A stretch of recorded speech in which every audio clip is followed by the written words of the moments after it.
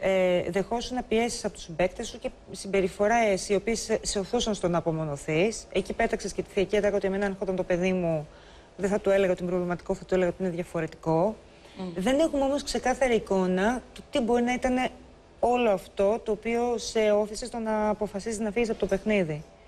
Ε, πέρα από το ότι είδαμε το λεγόμενο σουτιέν της Ειρήνης, ένα περιστατικό με τον ε, Στέλιο Χανταμπάκη να ανοίγει ένα σουτιέν υποτιθέμενο ως ε, πάπυρος που έλεγε σαν ψήφο αποχώρησης στην Ειρήνη. Δεν ξέρω αν το έχεις δει αυτό. Το έχεις δει; Το έχω δει. Το έχεις δει.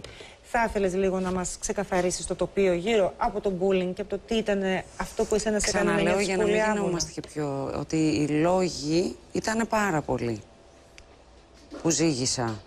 Ε, και, και μέσα στη ζυγαριά αυτή ήταν και οτιδήποτε έμαθα και μέσα από αυτή την εμπειρία που προσπαθούσα ε, προσωπικά μέσα μου να ισορροπήσω και να μάθω ή να εξελιχθώ σαν ειρήνη.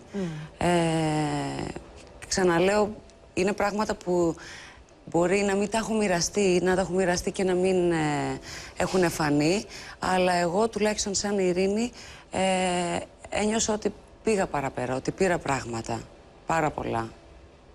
Αλλά ξαναλέω, ο καθένας μπαίνει με άλλους σκοπούς μέσα στο παιχνίδι. Ποια ήταν τα μαθήματα που θεώρησες εσύ ότι έχεις πάρει από όλη αυτή την εμπειρία; Είναι και ερώτηση τηλεθεατή καταγεγραμμένη εδώ. Τι μαθήματα θεωρείς ότι έχεις πάρει; να μην Έχω πάρει εμπιστεύεσαι. πάρα πολλά. Από αυτό που δεν ξέρω κατά πόσο μπορεί να αλλάξει έτσι σε χρόνο τετέ. Ε, μαθήματα πιο έτσι από το παιχνίδι ή μαθήματα πιο προσωπικά. Τα προσωπικά Και μου τα πώς να δύο. τα κρατήσω για ένα. Όσο εσύ, εσύ είσαι καλεσμένη σε μια Ναι. εκπομπή και ανοίγεσαι μέχρι Ναι. εκεί που θέλεις. Εγώ Σωστά. δεν μπορώ να σου βάλω πρα- λόγια στο τσιγκέλι έτσι ότι μπορώ να γίνω πιεστική. Θέτω ερωτήσεις και εσύ, Ναι. άμα θε, απαντάς μέχρι εκεί που εσύ νομίζεις. Ναι. Ε, μ, το ότι νιώθεις ε, η τελευταία πεινασμένη, νιώθεις ε, άστεγος, νιώθεις ε, μ,